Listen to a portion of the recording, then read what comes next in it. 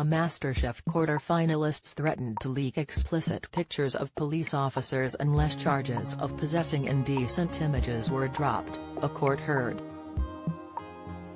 Kierwin Ash, 41, appeared in the 2016 series of the popular BBC show and was arrested after being accused of possessing child sex abuse images. A court heard Ash threatened to release explicit pictures of officers unless his case was dropped. Ash was working as an associate professor of medical devices at the time of his appearance on the show. Officers raided his partner's home and seized a number of devices in April 2019, Swansea Crown Court heard. Prosecutor James Wilson said child abuse images and bestiality videos were found on a hard drive and computer tower from a garden office.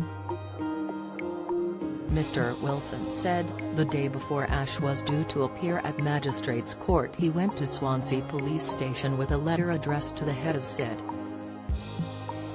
In the letter Ash called for the charges against him to be dropped. Mr. Wilson told the court he would create an earthquake by publishing compromising material involving police officers engaged in sex acts. He said, Ash said he would use a trusted friend in the Press Association to bring the material into the public domain.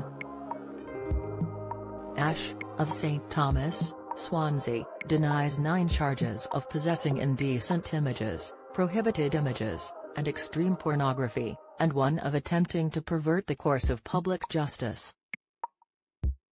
Prosecutor Mr. Wilson said 20 images and 5 videos of child abuse and 50 images and 35 videos involving bestiality were found on a hard drive.